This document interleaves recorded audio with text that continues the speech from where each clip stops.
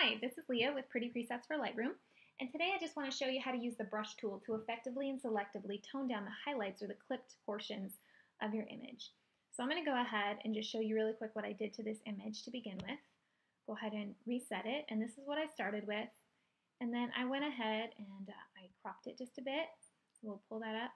I used the Bubble Tea preset from the film collection, and then I used the Creamy Center Light from the Enchanted Garden, White Balance Temple Warmth, also from Enchanted Garden. I use the Sharpen for Females and Babies, and this is from um, the Clean and Creative collection. And then at this point, now I'm ready to go ahead and adjust my clipping. So over here, this little triangle up here above your histogram, this is your clipping triangle. It shows your highlight clipping. These are the areas that you're losing detail in. If you go ahead and click on it instead of just hovering over it, it'll keep those red areas selected for you.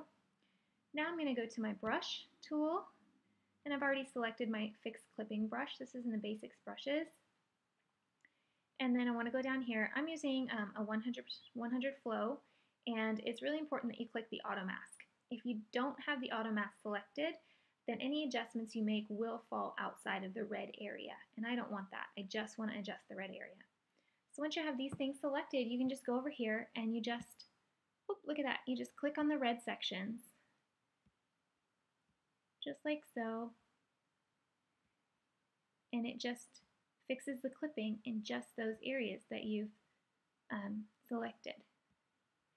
And I pretty much only care about the clipping near my subjects. I don't care about all this clipping up here, honestly. Um, but some people do, or if that, you know, if that bothers you, you don't want it, you can easily just go right over it like so. Um, prefer to leave that area up there, honestly. I, I like a little bit of a, a brighter image, just like that. It's done and it's easy and it didn't affect the lighting on your subject's faces at all or any of the color tones in the rest of the image. You just selectively uh, changed mostly the baby sweater and around their head. So there's a little bit more definition here than there was before. Thanks so much for watching and I hope you found this tip helpful.